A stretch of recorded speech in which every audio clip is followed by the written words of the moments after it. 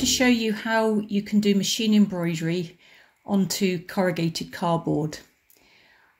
This is free motion embroidery, so I haven't got my dog feed up on the machine. I've got that lowered and I have got a darning foot or an embroidery foot. You can have either. On this particular sample, I'm using a self-coloured thread because I'm going to paint this sample afterwards. So I'm really looking to create texture on the cardboard rather than embellish it with stitching that's going to show up. You don't need to worry about the stitch length when you're doing free machine embroidery because that's no longer relevant because you're going to be moving the cardboard and creating the stitch length. Um, I've got my tension set to a standard tension and I've got a thick heavy needle 100 in my machine so that it will punch through the cardboard easily. If you use a smaller needle than this, it's likely to break because the corrugated cardboard is quite tough.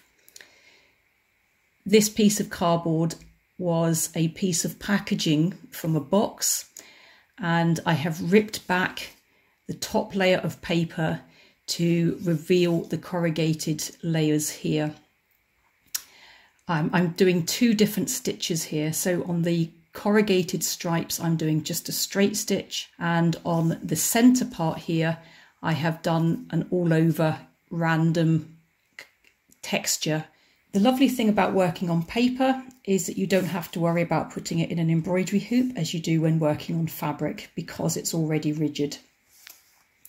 So I'm just going to start now and I'm going to go slowly at first until I get my rhythm and then I'm just going to move the cardboard forwards and backwards whilst I'm doing the sewing.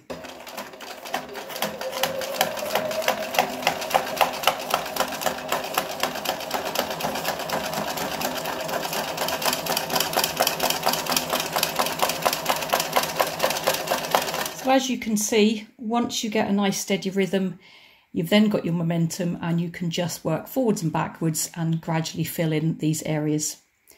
You'll notice that I am leaving these ridges of the cardboard where the fold is unstitched because I want to leave that texture showing. If I was to stitch over everything, the corrugated part of the cardboard would slightly disappear. And as I, where I, can you can see I've done it here, and that fold has, has really got stitched in and has, has become part of the texture. Whereas I want it to stand up a little bit, I want it to be prominent. So I'm going to carry on and I'm going to fill up this whole section with this machine embroidery with a straight stitch.